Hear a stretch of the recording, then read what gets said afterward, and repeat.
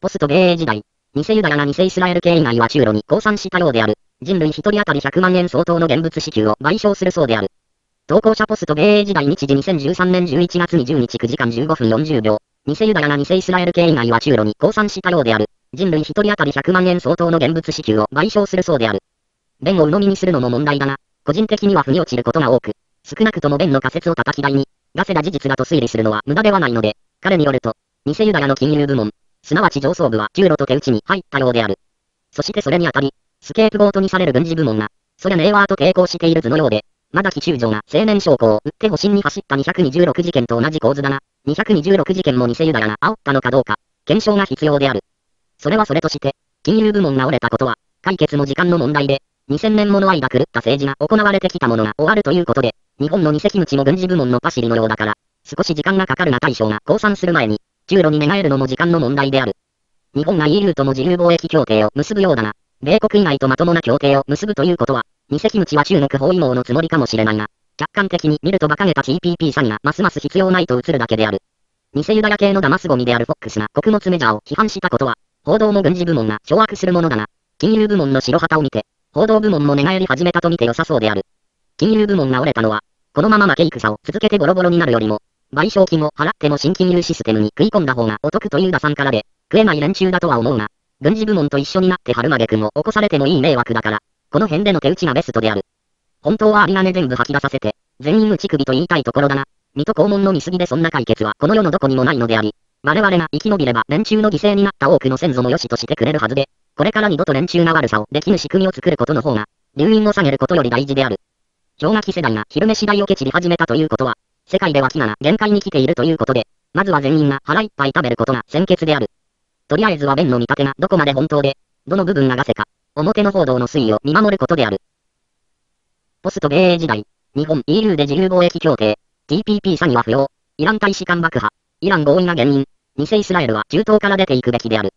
投稿者ポスト米英時代日時2013年11月20日12時間30分4秒、日本 EU で自由貿易協定、TPP 詐欺は不要、イラン大使館爆破、イラン合意が原因、偽イスラエルは中東から出ていくべきである。白色偽ユダヤは血統ユダヤではなく、回収ユダヤであり、イスラエルともユダヤ教とも無関係で、ハダール人でタルムード教徒なのである。連中にとって、ユダヤ教やキリストも方便であり、信仰心など全くなく、連中の先祖が都合よく改ざんした部分を悪用しているだけの話である。従ってシオニズムなど関係なく、英国偽ユダヤの指示で中東を拡乱し、原油メジャーが商売しやすくするために、イスラエルを占拠しているだけの話で、婿のような戸様のような、ガイアのような野獣馬のような白色偽ユダヤは、中東にはいらない子であり、日本の偽キムチと同じである。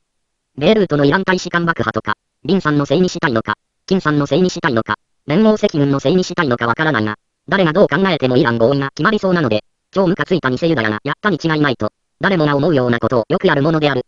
弁によると、偽ユダヤの上層部というか金融部門は、中路に白旗を上げたようだが、それにあたり軍事部門の生贄に差し出すような話のようだから、偽イスラエルも生き残りに必死のようだが、汚れ仕事をやりすぎたのだから自業自得である。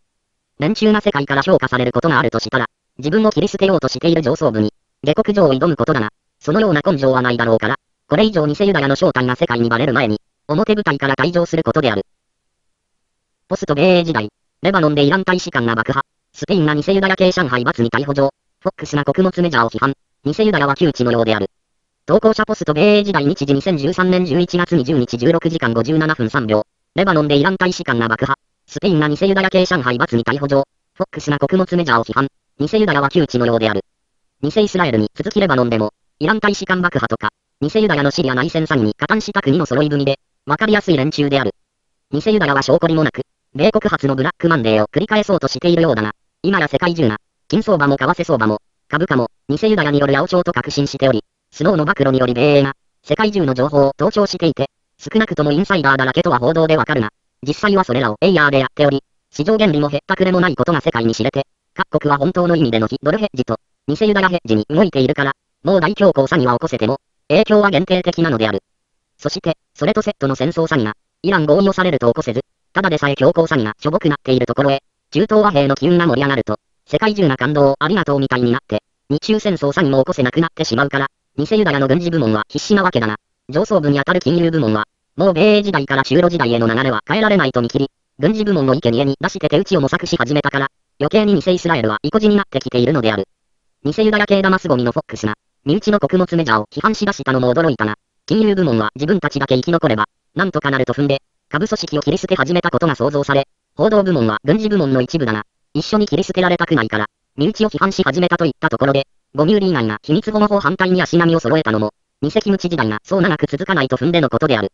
日中戦争詐欺について、もう少し書くと、偽ユダヤ系の上海バツと、偽キムチのプロレスだったわけだな。その一方に逮捕状が出されると芝居を続けるのも難しくなり、安倍っちの暴走も空回りで終わるというわけである。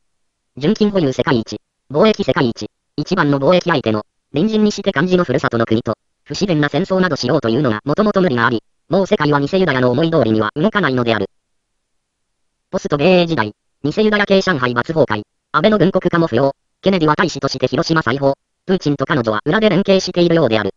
投稿者ポスト米英時代日時2013年11月20日22時間18分28秒、偽ユダヤ系上海罰崩壊、安倍の軍国化も不要、ケネディは大使として広島再訪、プーチンと彼女は裏で連携しているようである。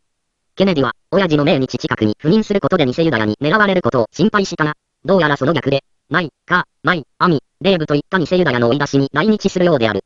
そして当然、そのパシリである偽キムチも、南北統一を機に、花道がカバドをつけてやって、低欲日本から追い出すという寸法である。尖閣詐欺のプロレス相手であった上海バツが崩壊すれば、日本側の偽キムチもプロレスが成り立たず、振付役の偽ユダヤも職を失うわけで、広島裁縫はエレガントな、安倍地平の同活というわけである。これから、吉永さゆりはうんこしないと信じた世代を中心に、ケネディフィーバーが起き、ヨン様おばさんみたいに追っかけをして、彼女がどこに行っても、じじいたちの花束に囲まれて大変だと思うが、嫉妬した女房に晩年離婚を突きつけられても、チャロちゃんと書いて、ピンクの鉢巻きとペンライトを持って、ベルボトムのジーンズとガロみたいなぽっくり下駄と、アートネイチャーで若作りして第二の青春を謳歌するわけであるが、息子も孫も大変である。それにしても、ケネディとプーチンの人脈が重なり、裏で連携しているらしいという話は心強く、小沢真紀子コンビ以上の迫力である。これで偽キムチ小泉だの、石原じじいだの、橋下小僧だのといった雑魚の存在感も霞み、安倍田関東学院新次郎といったバカも、脇役に追いやられるというわけである。彼女に憧れる女子会と、ジジイの親衛隊による彼女の奪い合いで、装飾男子の間でも熟女フィーバーが起こり、まさこダイアナフィーバーを上回る、ロイヤル政局となるはずである。